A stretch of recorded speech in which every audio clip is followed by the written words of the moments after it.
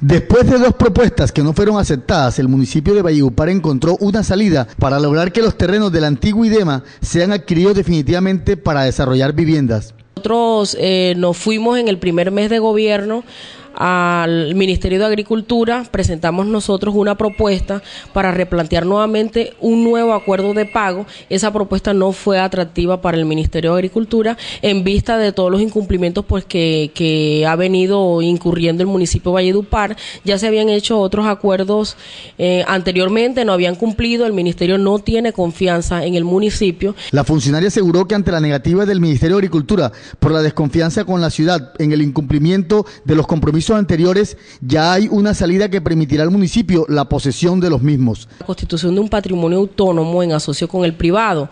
Todos estos recursos van a una fiducia y es la fiducia quien responde pues por el pago en los tres años que va a demorar el, desarrollo del proyecto, los pagos al, al abono al lote.